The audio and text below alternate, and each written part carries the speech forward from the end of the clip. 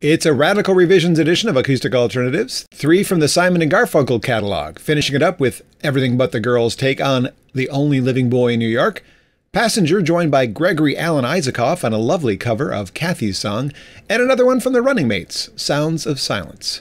Also, Paul Carrack again on this week's show, the Eddy Arnold hit, You Don't Know Me.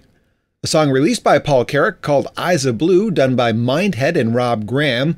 I sought that one out because the artist you heard right before that would do a great take of that song, if you ask me.